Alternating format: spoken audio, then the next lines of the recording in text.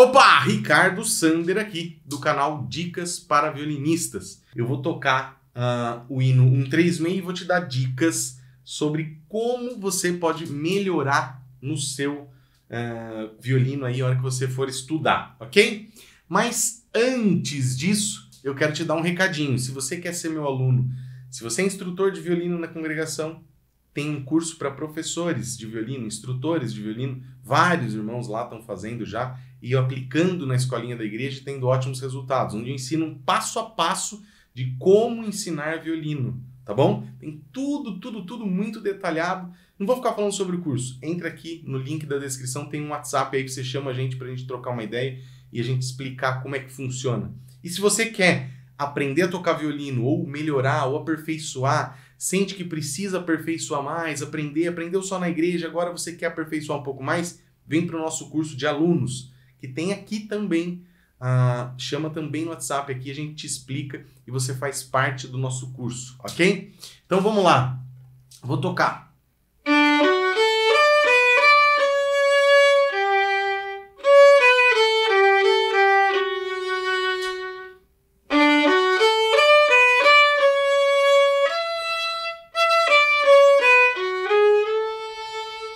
Bom, primeira coisa, que, que eu comecei te prometendo desse hino? Você quer tocar com esse som que você ouviu aqui agora?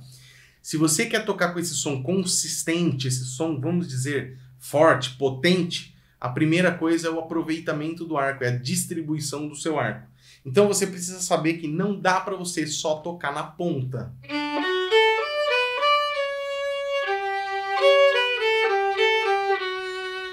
Não dá, você não tem som, percebeu aí, né? A dica qual que é? Arco no quadrado. Onde a gente põe um arco aqui, ó. Se eu pôr aqui, não tem um quadrado no meu braço, ó, ó, ó. Chegou. Quadrado aqui, ó. Forma um quadrado aqui no meu braço, ok? E aí, nessa região mais central do arco, não é o meio do arco, não. É uma região mais central do ponto de equilíbrio, que chama isso daqui. Ok? É onde você vai ter mais equilíbrio, conseguir grudar o arco por peso do seu braço. Relaxa, tem que estar tá a mão do arco bem bonita e aí você vai.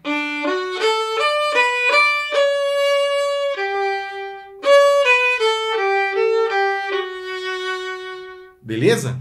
Cuidado só com o final das frases, né? Às vezes a gente quer tocar um som potente ali e a gente esquece do final da frase.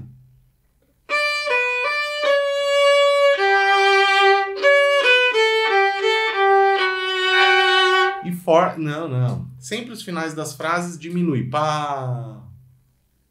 Final de frase. Ok? Outra dica: usa o quarto dedo.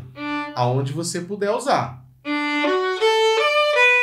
Ricardo, mas você não usou aí? Ré, falar. Por que, que eu não usei o quarto dedo? Presta atenção nessa dica agora. Quando eu uso o quarto dedo, Ricardo, quando eu devo usar o quarto dedo? Presta atenção. Antes de eu te falar do quarto dedo, venha ser membro desse canal aqui. Você pode ser assinante, membro do canal, você tem acesso a centenas de vídeos exclusivos que só os assinantes podem assistir a partir de R$ 6,99. R$ 6,99. Clica aí embaixo para ver sobre ser membro do canal, tá bom? Sobre ser assinante aqui do canal e você vai entender os benefícios aí, você vai ver pagando isso aqui por mês, você tem isso aqui de benefício. Um dos benefícios são os hinos gravados, soprando, contralto, com introdução, tudo separado. Mais de 200, 300 vídeos aí, só de cara para você poder acessar, ok? Quarto dedo, Ricardo, quando eu uso, quando eu não uso? Olha só, Ré, Fá, Lá, Ré.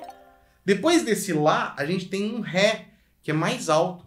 Ré, Fá, Lá, Ré, Si, Ré, Dó. Então aqui não preciso usar o quarto dedo. Eu posso fazer uma corda solta e ficar tudo bem, ó. Porque a próxima nota depois do Lá ela é mais alta do que o Lá, certo? Então eu vou tocar uma, uma coisa mais aguda do que aquele Lá. Agora já no segundo, né, na segunda parte, na segunda frase ali, ele faz...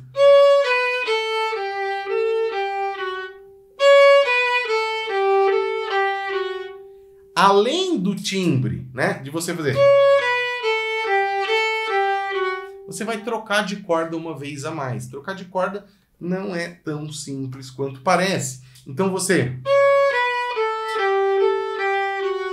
Pode usar já no primeiro lá, o quarto dedo, ou pode usar no segundo para ficar na corda Ré e ficar no timbre. Por quê? A próxima nota depois desse Lá é mais baixa do que ele. Então, se eu volto para a corda Lá, eu estava tocando na Ré. É um outro timbre, é uma coisa mais mais lá para cima, mais estridente um pouco. Então o quarto dedo vai funcionar melhor para você, tá bom? Gostou dessa dica? Deixa nos comentários aí se você já sabia disso, se você não sabia, se você gostou ou não gostou, ou se ficou outra dúvida ainda. Depois eu venho aqui é, escrever para você aqui nos comentários. Eu mesmo que entro aqui todos os dias e respondo comentários, ok? Então vamos para a última lá. Ah, mesma coisa no segundo sistema, vou usar o quarto dedo. Aqui, ó. Porque é muito mais bonito isso do que. Você escutou o som do Mi solto? É claro que lá no meio da orquestra, com 300 saxofone e 200 trombone, não vai fazer muita diferença, mas eu tô te dando as dicas para você tocar aí na sua casa e ficar um som agradável, né?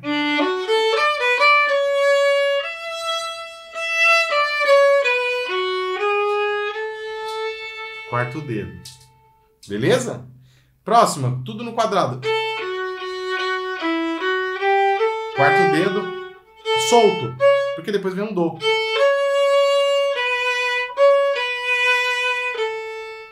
E aqui a dica de arco nesse sistema, no penúltimo, que vai ser a mesma dica para o final. Você vai com as notas curtas, mais com o arco no quadrado. Agora usa.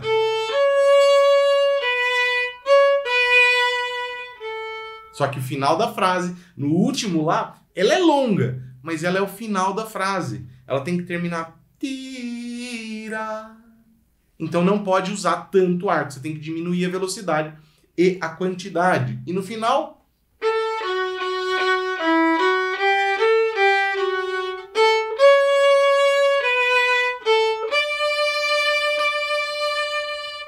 Aqui você vai sustentar um pouquinho. Por quê? Porque tem uma fermata nessa última nota. E por quê? Vitó... É, ops, desafinei, peraí.